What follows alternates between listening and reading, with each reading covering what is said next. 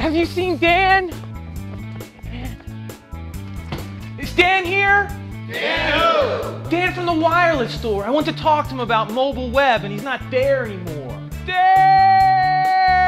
Looking for a wireless expert who always be there for you? Look no further than locally owned and managed North Pacific Cellular. And as for Dan, we think you'll like Dennis a lot better.